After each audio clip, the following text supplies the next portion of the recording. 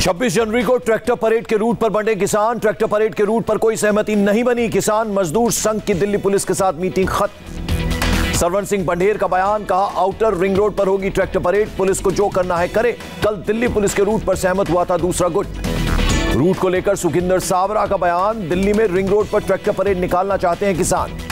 सुखविंदर साबरा ने कहा, जो रूट मिला उसका ज़्यादातर हिस्सा हरियाणा में आता है। रैली के लिए सिर्फ़ पुराना रिंग रोड चाहते हैं किसान। दिल्ली पुलिस ने शर्तों के साथ किसानों के ट्रैक्टर मार्च को दी अनुमति। कई दौर की बातचीत के बाद किसानों और पुलिस में बनी सहमति। दिल्ली में तीन जगहों से निकलेगी किसानों की tractor parade. Singhu border, Tikri border और गाजीपुर बॉर्डर से मिली इजाज़त। तीनों बॉर्डर से बैरिकेड हटाकर दिल्ली में कुछ किलोमीटर तक अंदर आएँगे किसान। सुरक्षा इंतज़ाम के बैरिकेड से पहले यू टर्न लेंगे। सिंगू बॉर्डर से बासठ किलोमीटर के दायरे के अंदर किसान निकालेंगे ट्रैक्टर रैली। टीकरी बॉर्डर से तिरसठ किलोमीटर तक होगी ट्रैक्टर की परेड। उत्तर प्रदेश में गाजीपुर बॉर्डर से 46 किलोमीटर तक जाएगी ट्रैक्टर रैली। ट्रैक्टर परेड के कुल 170 किलोमीटर में 100 किलोमीटर दिल्ली के अंदर के रास्ते। ट्रैक्टर परेड सिंगू बॉर्डर से निकलकर संजय गांधी ट्रांसपोर्ट नगर, कंझावला, बवाना होते हुए वापस सिंगू बॉर्डर लौटेगा। दिल्ली के टीकरी बॉर्डर से ट्रैक्टर परेड का रूट नांगलोई, नजफगढ़, झरोड़ा होते हुए केएमपी एक्सप्रेसवे होगा। राजपथ पर 26 जनवरी की परेड खत्म होते ही ट्रैक्टर परेड शुरू होगी। किसानों के लिए जारी की सख्त गाइडलाइंस दिल्ली पुलिस को लिखित रूप, रूट मैप देने के बाद ही किसानों को मिली इजाज़त। किसानों और पुलिस की तरफ़ से हुए हस्ताक्षर। योगेंद्र यादव ने कहा, ट्रैक्टर परेड शांतिपूर्ण होगी। किसान दिल्ली नहीं, देश का दिल जीतने आ रहे हैं। योगेंद्र यादव की किसानों से अपील, दिल्ली के अंदर सिर्फ़ ट्रैक्टर लेकर आए, ट्रॉली के साथ नहीं। गाजीपुर बॉर्डर से ट्रैक्टर रैली अक्षरधाम तक जाएगी, फिर आनंद विहार होकर निकलेगी किसान नेता राकेश टिकैत का बयान। किसान नेताओं ने भी ट्रैक्टर रैली के लिए जारी की एडवाइजरी हर ट्रैक्टर पर लगा होगा तिरंगा, किसी पार्टी का नहीं होगा झंडा। किसानों की ट्रैक्टर रैली में ट्रॉलियाँ ले जाने की इजाज़त नहीं।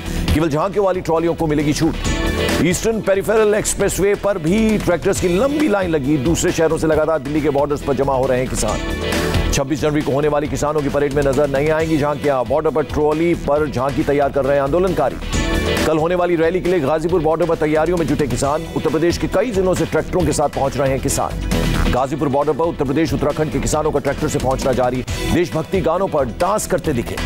किसानों के दिल्ली कूच के कारण हरियाणा में जीटी रोड पर कई जगह लगा भीषण जाम, घंटों जाम में फंसे लोग। हरियाणा सरकार ने लोगों से 26 जनवरी को दिल्ली जाने से बचने की दी सलाह। करनाल और रोहतक से दिल्ली की तरफ़ ट्रैफ़िक पर 27 जनवरी तक पड़ेगा असर। किसान आंदोलन के समर्थन में महाराष्ट्र के किसानों की rally, NCP chief Sharad Pawar और बाला साहब थोराट आज़ाद मैदान पहुँचे। मुंबई पुलिस ने किसानों को राजभवन तक मार्च करने की नहीं दी इजाज़त, अब किसानों का एक दल राजभवन देने जाएगा ज्ञापन। ऑल इंडिया किसान सभा की तरफ़ से तेईस लोगों का सौंपा गया नाम। राज्यपाल को ज्ञापन देने राजभवन जाएँगे किसान नेता। महाराष्ट्र के नासिक से पैदल चलकर हज़ारों किसान मुंबई के आज़ाद मैदान पहुँचे। दिल्ली में किसान आंदोलन को समर्थन। महाराष्ट्र के इक्कीस जिलों के किसान पहुँचे हैं आज़ाद मैदान। दो दिन में नासिक से करीब 200 किलोमीटर का पैदल तय किया सफ़र। महाराष्ट्र के पूर्व सीएम देवेंद्र फडणवीस ने कांग्रेस और एनसीपी पर साधा निशाना। बिना किसानों के समर्थन आंदोलन का लगाया आरोप, कहा किसानों को भ्रमित कर रही है विपक्षी पार्टियाँ। राहुल गांधी ने मोदी सरकार पर साधा निशाना बोले, पीएम कृषि क्षेत्र को कर रहे हैं बर्बाद। तीन नए कृषि कानूनों को लागू करके किसानों पर किया हमला। मध्य प्रदेश के सीएम शिवराज सिंह चौहान का राहुल गांधी पर पलटवार कहा, राहुल गांधी को इतना बड़ा झूठ बोलते हुए शर्म नहीं आई, झूठ की नींव पर खड़ी है कांग्रेस। एलएसी पर सिक्किम के नाकुला में भारत चीन सैनिकों के बीच मामूली झड़प। 20 जनवरी को भिड़े दोनों देशों के सैनिक। भारतीय सैनिकों ने चीन की सेना को पीछे खदेड़ा। एलएसी पर पिछले हफ़्ते हुई थी भारत चीन सैनिकों के बीच झड़प। भारत चीन सैनिकों की झड़प पर सेना ने जारी किया बयान। नाकुला में भारत चीन सैनिकों के बीच हुई थी हल्की झड़प। लोकल कमांडर ने अपने स्तर पर मामला सुलझाया। करीब दो महीने बाद भारत और चीन के बीच कमांडर लेवल हुई बैठक। पूर्वी लद्दाख में जारी गतिरोध को लेकर 11 घंटे तक हुई चर्चा। एलएसी विवाद पर राहुल गांधी ने फिर मोदी सरकार से किया सवाल, कहा, चीन भारतीय क्षेत्र में कब्जे का कर रहा है विस्तार। चुप है पीएम मोदी। बहत्तरवें गणतंत्र दिवस की पूर्व संध्या पर आज देश को संबोधित करेंगे राष्ट्रपति रामनाथ कोविंद। शाम सात बजे लाइव प्रसारण होगा। दिल्ली ट्रैफ़िक पुलिस ने जारी की 26 जनवरी का परेड रूट। विजय चौक से नेशनल स्टेडियम तक जाएगी परेड। गणतंत्र दिवस पर पुलिस अधिकारियों को मिलेगा उत्कृष्ट सेवा पदक। जम्मू कश्मीर के इकहत्तर, उत्तर प्रदेश के सत्तासी और महाराष्ट्र के सत्तावन अधिकारी होंगे वीरता पुरस्कार और राष्ट्रपति पुलिस मेडल से सम्मानित। 26 जनवरी को सीआरपीएफ के 131 जवानों को भी किया जाएगा सम्मानित।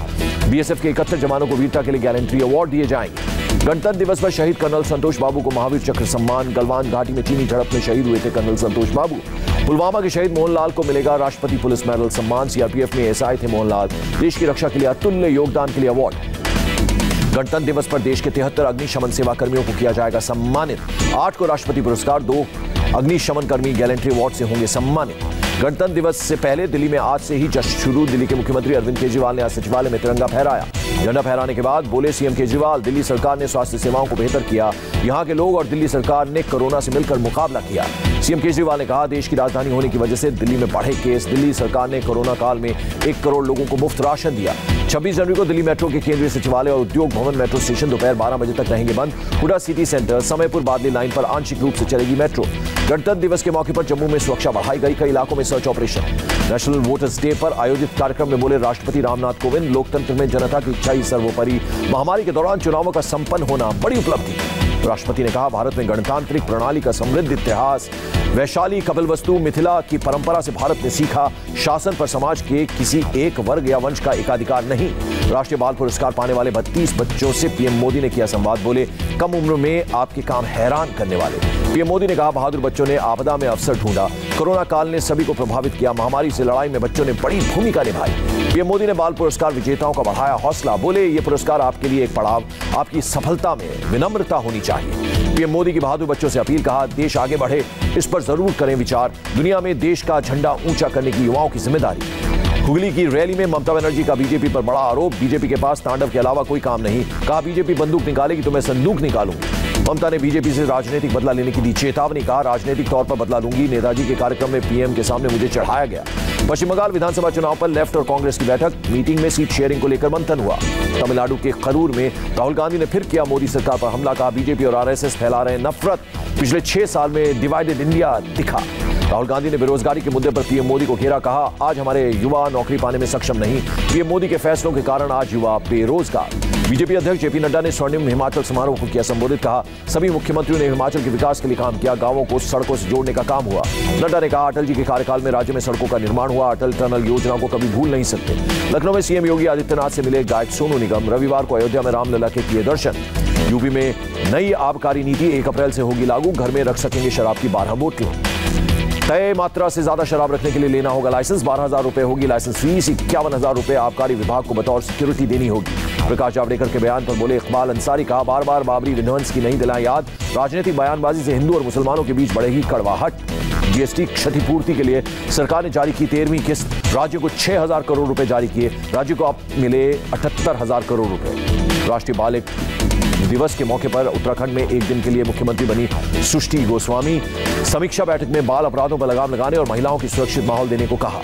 पुंछ में राष्ट्रीय बालिका दिवस पर कार्यक्रम का आयोजन। बेटी बचाओ, बेटी पढ़ाओ, रखा गया था समारोह का थीम। बेटियों को लेकर जागरूक करने की कोशिश। केंद्र शासित प्रदेश लद्दाख के करगिल में राष्ट्रीय पर्यटन दिवस पर कार्यक्रम का आयोजन।